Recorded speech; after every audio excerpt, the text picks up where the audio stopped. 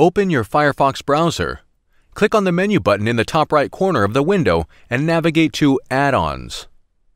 In the Open page, click on the search bar in the top right corner. Type in NordVPN and press Enter. Afterwards, click on the Install button next to the NordVPN extension. You will get a permission prompt stating the permissions our application needs to secure your connection. Click on the Add Extension button and it will be added to your browser. You can now see the NordVPN extension icon present in the top right corner of your browser, among other add-ons. Clicking on the icon will open the menu of the integrated application.